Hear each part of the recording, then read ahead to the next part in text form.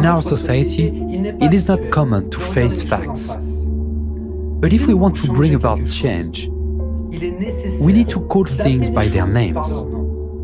As Christians and as parents of our children, we cannot turn a blind eye to what is happening in society because it is directly affects our Christian and human values and directly impacts the life of our children. To speak frankly, the truth sounds like this. Thousands of clergy members sexually rape and morally cripple children every day. What do you think is the number of such stories that reach parents, let alone public exposure? Next, you will hear tragic stories of pedophilia's victims and statistics on only the cases of sexual violence committed by clergy members that have come to light. The Boston Globe the first major public reaction to lead to a series of revelations about sexual violence committed by church officials occur after the publication of articles in the Boston Globe's newspaper. In 2002, a series of articles from an independent journalistic investigation were published exposing the scale and increase in cases of sexual violence within the Catholic Church dating back to 1990s. In these articles, the general public was first presented with horrifying facts about the extent of pedophilia among clergy members. This precedent literally broke the dam of silence, and in the following years, a wave of loud revelations spread across the world. As a result, independent commissions were established in various countries to conduct more thought-through investigations into these crimes. Moreover, in 2015, the movie Spotlight was released, based on the real events of that time, telling the story of the investigation into one of the most notorious sex scandals. This film also played a significant role in breaking the taboo surrounding this topic.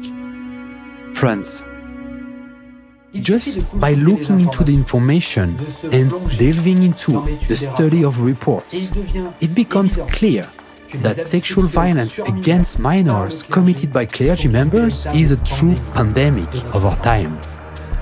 Let's now take a look at several stories that happened in France as reported by the Deutsche Welle and Euronews. Before, he says he was a happy child with good marks at school. Then, when he was 11, his parents sent him to a summer camp run by the Catholic Church. It started on the second night. There was a priest. He'd assigned me the bed in the back corner. He clearly had his eye on me from the start. He pulled his chair close to the bed, and then he touched my genitals. And I had to touch his. I felt his pubic hair. I didn't know what it was. I hadn't even reached puberty. He says he didn't dare to say anything or resist. And the next night was even worse. He turned me onto my back. I don't recall how I ended up undressed all of a sudden, but I remember his weight behind me. And then he came every night and he raped me every night, except the last two days. Every night. Hmm. The priest who raped Jean Francois Bernard was also never brought to account. Bernard could only bring himself to report the priest three years ago. A bishop then contacted him. The phone call lasted exactly 37 seconds. The bishop wasn't sincere. There was no apology of any kind. He just said that he was praying for me. Completely insane. What shocked me the most was when he tried to put his tongue in my mouth.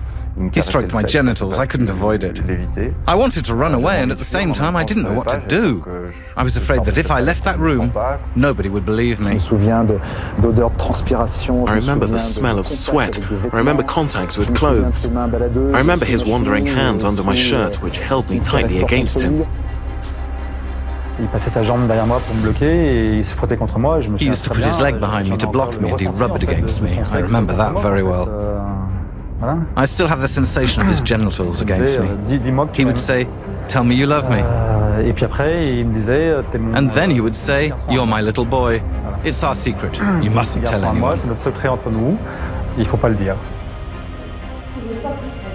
A secret that for decades has weighed on dozens of former scouts aged from 8 to 12, whom Father Bernard Preynat supervised from 1970 to 1991. A charismatic man much appreciated by those who entrusted their children to him. There is a lot of such a story on the internet.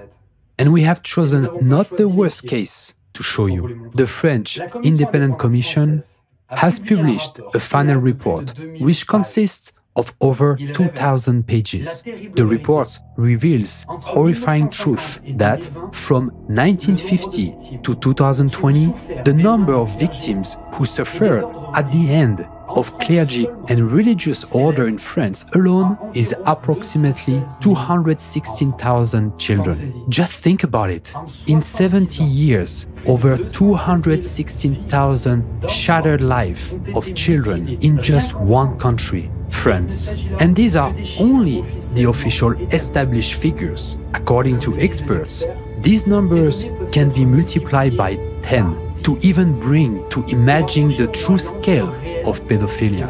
Does this sink in that these children were violated by those who preach to you, bless you, perform the Eucharist, and absolves your sins. And this is done by those who dare to say that they have the Holy Spirit upon them directly from the apostle of Jesus Christ himself. These are the people who call themselves clergy, whom hands you kiss, the very hands they used to hold your children while they raped them. France is far from being the only countries to suffer from this plague. Next, you will hear data from publicly available sources from other countries where there is at least some transparency on these issues. These are the countries where people feel some sense of security and enough freedom to speak about it. But this happened regardless of denomination in all countries where this plague exists. In many countries, people are afraid to speak out and live their entire lives with this secret. And many people end their lives in suicide because of it. During the period of 1970 to 2015, the Church in England and Wales received complaints against 900 clergy members. Over 3,000 children became victims of sexual abuse by them. Australia. In Australia, the Royal Commission found that from 1980 to 2015, there were 4,445 reports of children abused sexually. Belgium. In Belgium, in 2010, the commission investigating the extent of abuses in the church made public details about approximately 300 cases of alleged sexual violence involving Belgian clergy. The report was prepared by the Interdiocesan Commission of the Protection of Child and Youths, led by the honorary professor of psychology at the Catholic University of Leuven, Manu Keirse. In the preface, he writes Sexual violence or aggressive behaviors is not an illness, it is a crime and abuse of power. Since 2012, a total of 1,064 reports of sexual harassments in the Catholic Church have been received in tiny Belgium, Germany. According to a study initiated by the Conference of German Bishops, in Germany, between 1946 and 2014, 1,670 clergy members of the Catholic Church were accused of sexual violence against minors. The estimated numbers of victims was 3,677 children and adolescents. Ireland in Ireland, in 2009, the government published a report by the Commission of Investigation into the Dublin Archdiocese, which stated that complaints and suspicions were received regarding 172 clergy members from 1975 to 2004. Let's hear the story of Darren from Ireland, a survivor of sexual torture by the local clergyman. As we learn from the Euronews report, his abuser is now in prison for abusive treatment of 200 children. At the age of seven, when I went to that school, he became the parish priest. So he was adorned. He was also an impersonator of Elvis Presley. So he was in a thing called the All Priest Show, and they went around the country in halls and clubs. They got paid.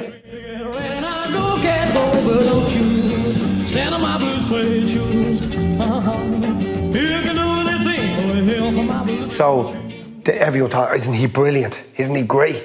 How amazing is he? And then when he talks on, on the pulpit about his Lord Jesus Christ, he, Jesus is my friend. I'm going to save you. He went home and told me parents, so the dirty secret was out. I now know you're beating that child and your wife. So now both my parents, which were adults, were vulnerable to the priest and in his pocket because he knows their dirty secret. So the priest suggested that I take your son out of this environment because you've damaged him. He's acting out. And you're beating him more and you don't know how to deal with him. If he comes with me, I can teach him love and he can, he can serve morning masses and or we'll bring him to lovely places. Take a bit of pressure off you. To somebody, a mother of five children, they were all going mad. And the husband was very rarely there. And when he was, was beating the shit out of her. That was brilliant. My child is safe. What if I was to tell you that a young boy was tied up over a coffee table, bound by his hands to his ankles, and noticed a candle burning, a thin one, but just thought it was a clerical candle. And while I was told that I'd burn in hell for all eternity, I was raped with the burning candle. Did you hear that? A priest was raping a child and it went on for years. It wasn't until Darren was 12 years old, after seeing a movie on TV about child sexual abuse, that he realized what the priest was doing to him was not normal. From that point on, he started visiting a psychiatrist, but he still feared that no one would believe his testimony in court. Listen to his conversations with the psychiatrist. The lady gave me the doll and says to me, Can you show me what happened? And I said, You want me to stick me cock and me penis inside the doll in front of you? And she said, What? I said, But you told me to show you. So you want me to like rip the doll and, and ride the doll? She goes, No, just show me. I said, I don't understand. I said, I'd have to do it. I said, but you said it was wrong. So why, why do you want me to do something that's wrong? I don't understand that. So they were like, that kind of makes sense. We, did, we, we didn't come across that before. So I said, how about just asking me what happened? So when I was asking, I had to keep asking them and taking the tissues at 12 and saying, are you okay? Because I had traumatized them. To me, it was okay because I was used to it. Darren has five suicide attempts on his record. Do you realize the sheer horror of what's going on? This is happening in all countries where this plague has spread. But in the country we are discussing, there is at least some triumphs of justice, and people can talk about it and seek psychological assistance. In all countries where Christianity is prevalent, regardless of denominations, the same things happen and on an equally large scales. However, in countries where clergy members control law enforcement agencies and influence the justice system, we do not hear about such cases. There, people cannot even talk about it, and poor children, as they grow up, carry this trauma within them. They have nowhere to prove anything, and no one believes them. They do not receive timely psychological help and often end their lives in suicide. Those who claim to be leading people to God in reality subject them to hellish torment even while they are alive. United States. Now, let's listen to a story from the United States. This was my first time. So I was all proud that I was called out to do extra detail, extra work. Instead, Rice says, Pastor John Unger led him through an underground tunnel between the school and church into a secluded choir room. And I was brutally sodomized by, by Father Unger. You were raped? I was raped. Even then, Rice says he knew that beyond the physical pain, what had happened to him was wrong. He asked Unger why. Why would he rape a 10 year old boy? He said, This makes you a bona fide, certified member now of the Catholic Church. And that if you were to tell anybody, now, Kirk, don't you tell anyone because this is our secret. Jesus will get you if you tell somebody, he will harm your family. But Rice says he soon found out from a half dozen other classmates that he was not alone that the other boys had been sexually assaulted by Unger as well. We told each other. We all knew. We all referred to him as Monster Unger. We never called him Father Unger. We called him Monster Unger. I know for a fact that these children, my friends in my classroom, were brutally and viciously sodomized just like me. He says all six of those classmates lived tortured lives and are now gone two from suicide, the others from drugs and alcohol. They didn't make it. They're dead because they were sodomized. Isn't that crazy? Rape a little kid and he dies. 20 years later, it doesn't matter. He was raped. He is dead because they couldn't deal with it. Not an important point. The priest told the child he was raping that if he ever told about anyone, Jesus would punish him and his entire family. This kind of threats is commonly used by almost all of those who commit sexual abuse on children. They use fear of God, hell, and the last judgment. They threaten that Jesus will punish them and that they will die in terrible agony if they cannot keep this secret. And this happens everywhere, in all denominations. After experiencing such a trauma, will a person still love God? Let's watch the next video excerpt. You're being groomed to get used to uh, a grown man's hands, you know, on you regularly. So he would always have his hands on me.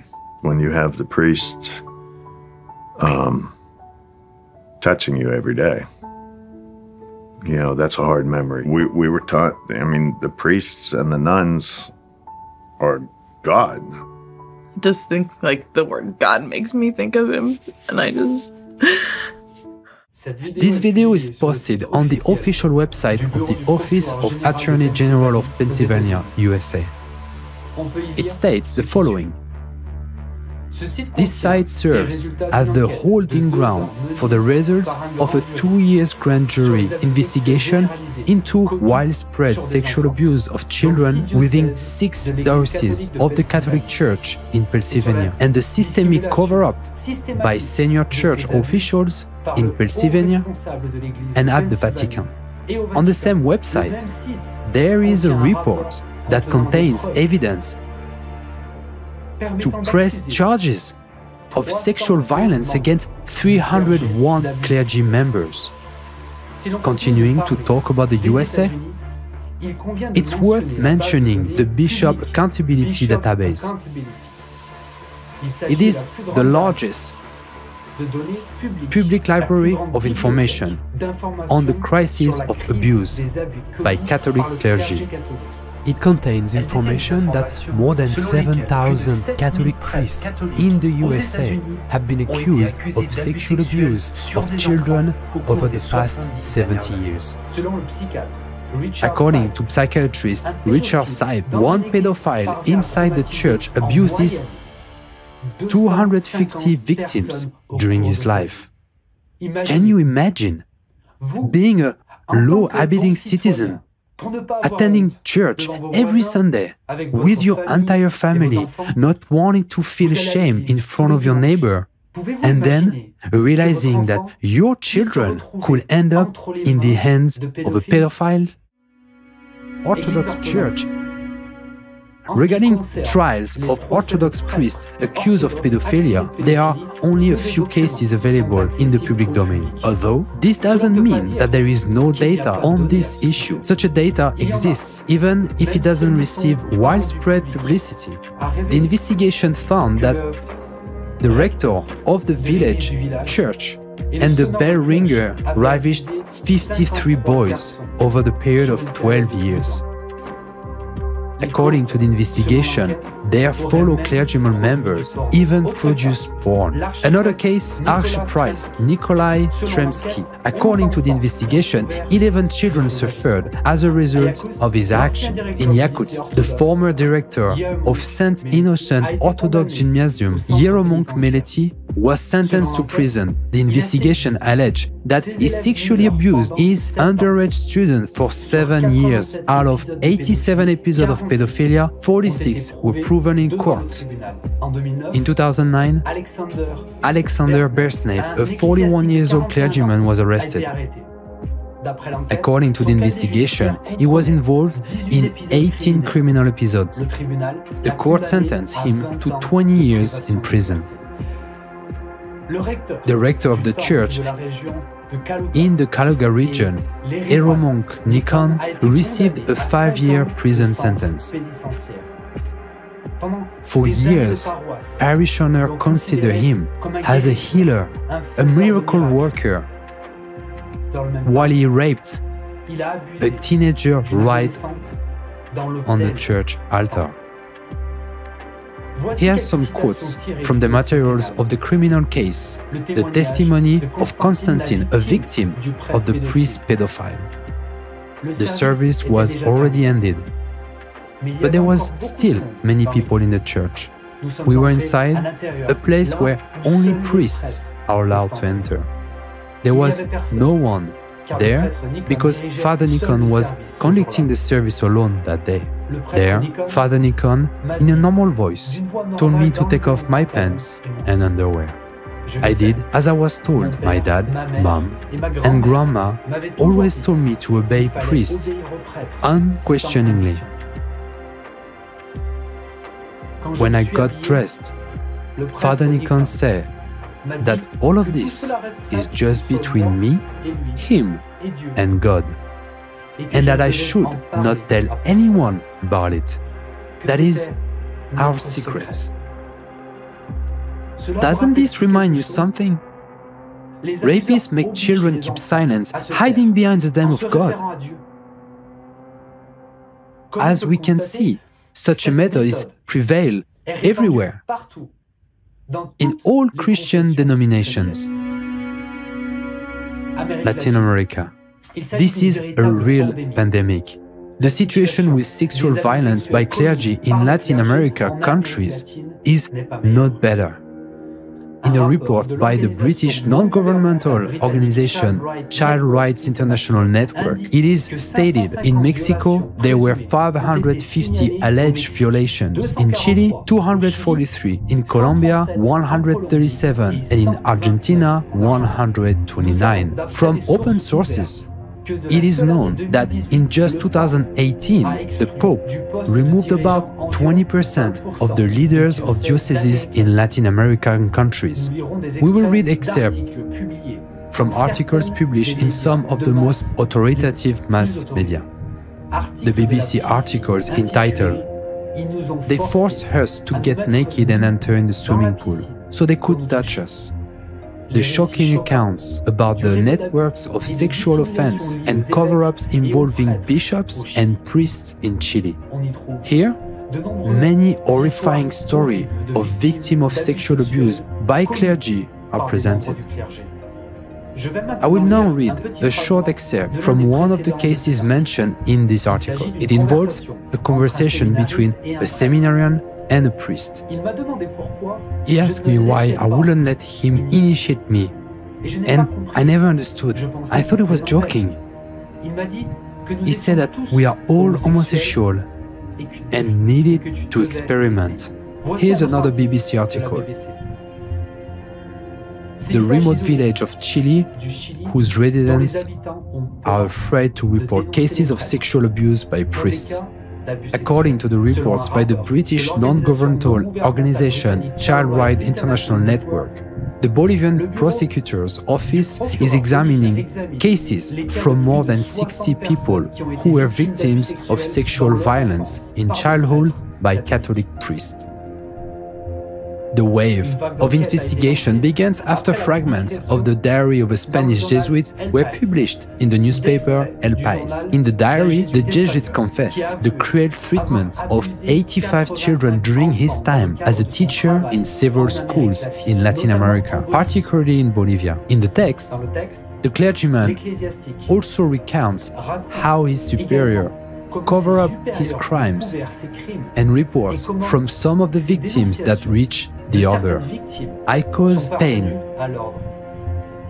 to many people, too many, he confesses. He was never punished or removed from his teaching activities involving children. Once again, we hear about how the leadership turns a blind eye on sexual abuses.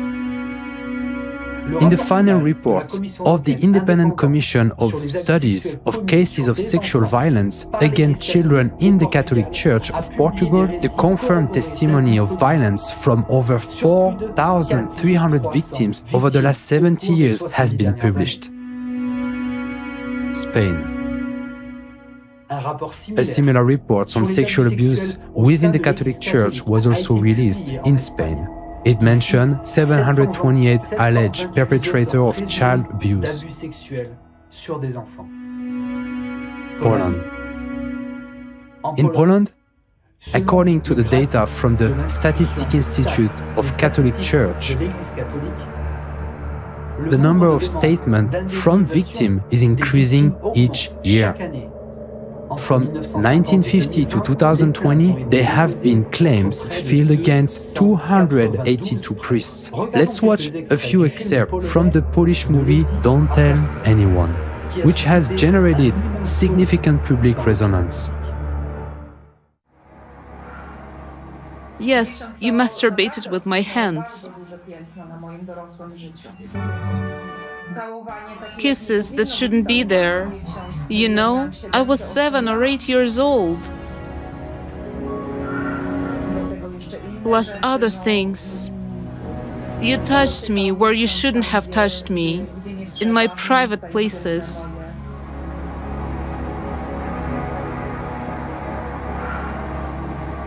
You know, it's really made a very big mark in my adult life. I realize, well, it was the devil who harvested the crop. Do you know what what cost? Do you know what it cost me when the devil harvested this crop? Excuse me? Do you know that I still have nightmares? Do you know that I don't sleep at night? Did the Lord God, did Jesus Christ take on little children? Something they taught you for years in the classroom, didn't they? The priest invited me and my friend, the altar boy, to the rectory one Sunday. On the pretext of giving gifts because it was very popular at that time to help families. The priests were giving out gifts that they have brought from the West. He told me to undress, try it on, take off my shirt. Mm, how about this? Maybe this one will fit, maybe these trousers will fit, maybe these knickers will fit, and so on. Was there a moment when you were naked? Yes, there was a moment when I didn't realize it at all because that's uh, what was happening.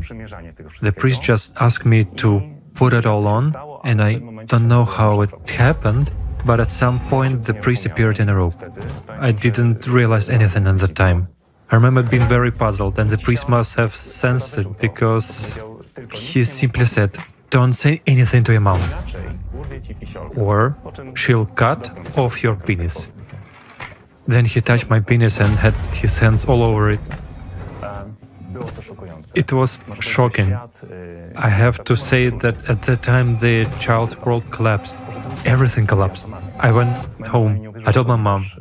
My mom didn't believe me because in those days it was unthinkable for people.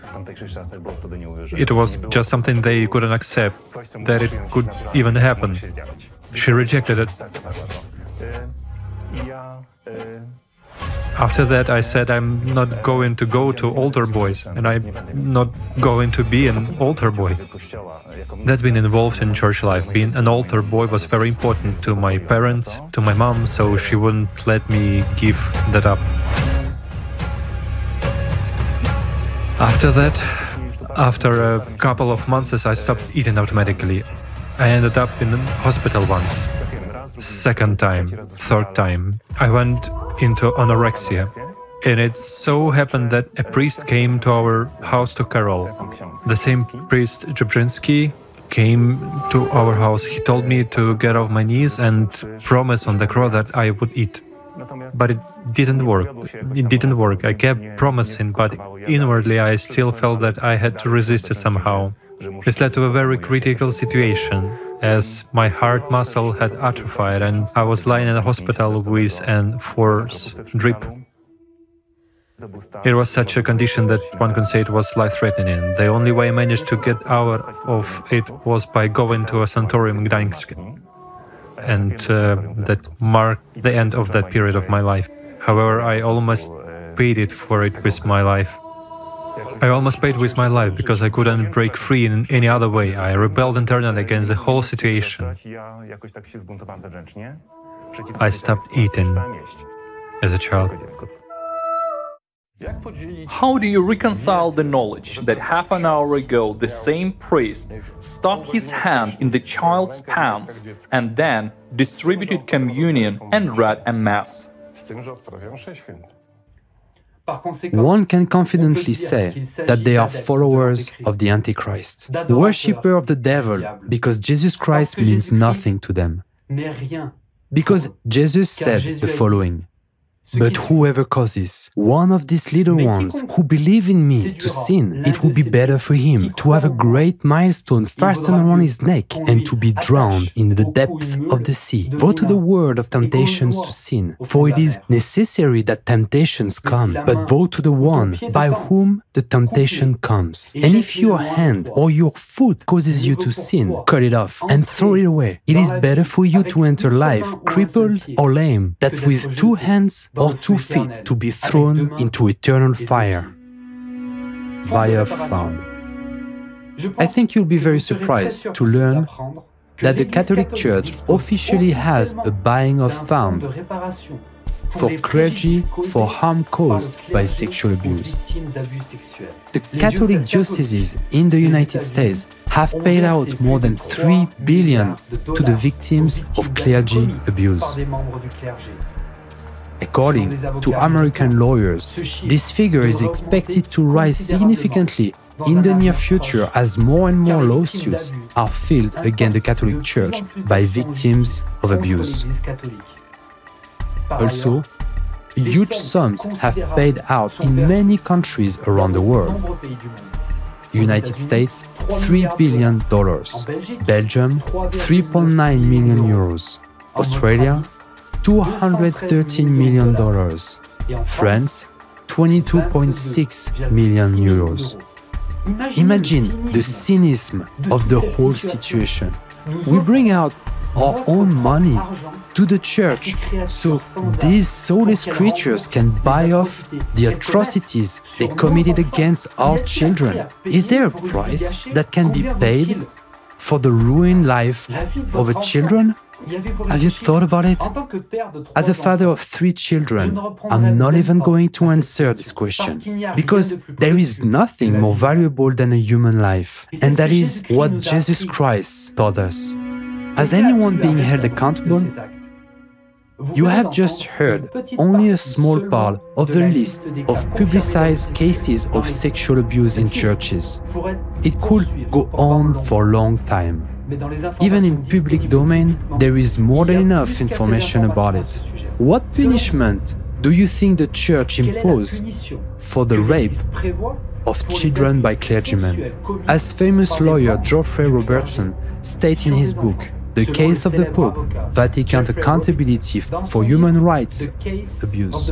The Catholic Church has its own very secret juridical system and threats alleged child abuser frighteningly softly and does not turn them over the police. Punishment for child rape include things like warning, reprimands, extra prayer, counseling, or several months of the threats.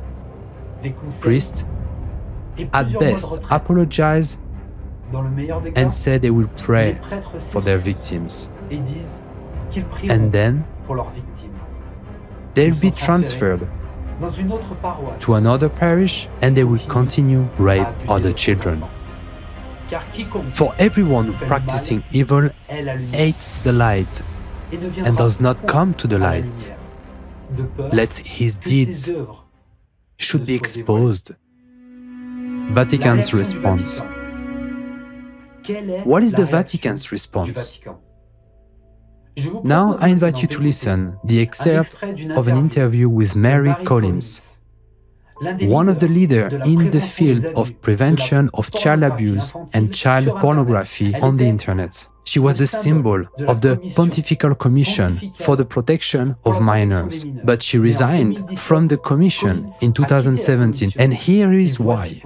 The commission was experts outside the church, child protection experts from every area, brought together to advise the Pope, to bring expertise into the church from outside. Um, and I went along with it because if the church was sincere in wanting to change, I thought that I should work to help.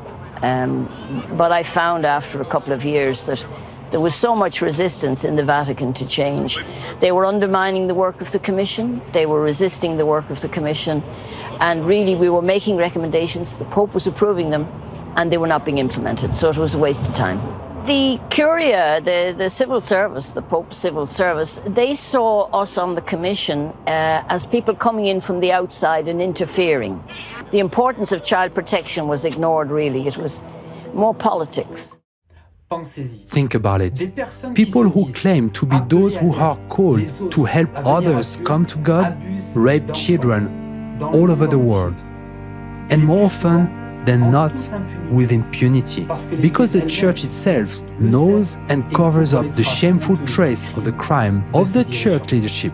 Reporters from the Boston Globe found this out in 2002, and it became evident after the Vatican summit in 2019. The summit lasted for four days. In the pages of the National Catholic Reporters, we found the following line. In other words, a lot of bishops has not only refused to listen to survivors of sexual abuse, they had threatened them as enemies of the church. And again, Many didn't even think this was a problem. And Cardinal Reinhard Marx, who also attended the summit, said the following Files that could have documented the terrible deeds and named those responsible were destroyed or not even created. The stipulated procedures and processes for the pro prosecution of offenses were deliberately not complied with, but instead cancelled or overridden.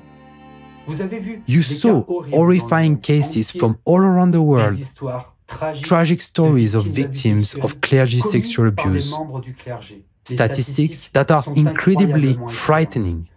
And this despite the fact that we haven't given all the statistics, we haven't shown all the stories of victims. This is just a small part of the cases that have become public. We have only provided publicly available material. To understand the real situation, this data can be multiplied by at least 10, and only then we will come closer to understanding the scale of this catastrophe. The tragedy that happened to each of these children is our common problem. No one is immune from the possibility of their children being raped and maimed one day. No one. Now let's look at how people are responding to this horror. I can only say one thing. Let he who is without sin cast the first stone. Sir, he's forbidden from celebrating Mass in public chapels. This is my private chapel. He was my superior, I was the vicar, he was my curate. It would be painful to know that my curate had done such a thing. It would be unbearable. It would have been better not to know. People's indifference. We can give thousands of such examples. Why is this happening? It's simple. It is the learned servility. Many parents, even admitting the fact of what happened, believe that they have to put up with it. They view it as a test sent by God that must be passed. Even when a priest raped a child, and it must be endured humbly and silently. For if you go against the priest, you go against the will of God. In other words, if you go against the mediator, you go against God. What God do they mean? Their own God, Satan? This is a learned servility, which is specially imposed to keep people in a state of slaves and fear, so that people think God endured hardship and commanded us to endure too. All the orders are God's will, and you should meekly accept them. But wait, the priest is raping my child, and I'm supposed to accept it and not to take action? These Antichrist followers refer to the word of the Apostle Peter himself, who said, Be subject to your elders, and all greed on humility one to another, because God opposes the proud, but gives grace to the humble. Meanwhile, they completely forget what words of Jesus Christ himself that God is love. All of this information we are showing you is available publicly. Didn't you know before that these things are happening? People know and have heard a lot of things, but they don't want to see the truth. Nobody wants to believe it. Nobody wants to get involved with it. Everybody ignores the problem, saying, it doesn't concern me. Or maybe the whole point is that we are cowards. We are afraid to admit to ourselves that we follow not the adherent of Jesus Christ, but the adherent of the Antichrist. It's an inconvenient truth for us. We don't want to see or know it. Even when defenseless child reaching out for God meets the devil in priest robe instead. They are not children of other people. This is our trampled future.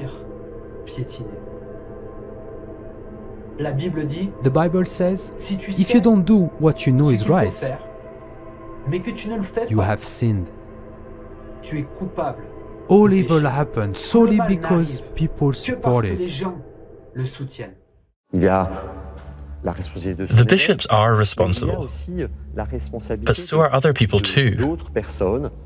For example, the families or other guardians.